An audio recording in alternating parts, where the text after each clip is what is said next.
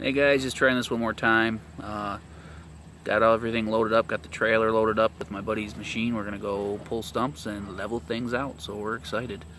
Um, got a bobcat here, or mini,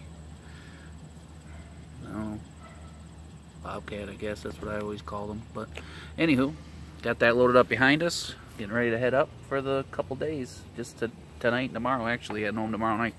So 48 hour, 36 hour thing. Brush hog, IBC tote, bucket, a couple wheelbarrows. Got a new toy over there in the corner that's going up to the property next weekend. So that's a lot of, to share with you guys. So I'm gonna hopefully document the uh, process of clearing things out a little bit for you. It won't be anything elaborate or edited or hours of footage. It's gonna be five minute or less videos, kind of like this. So thank you for watching.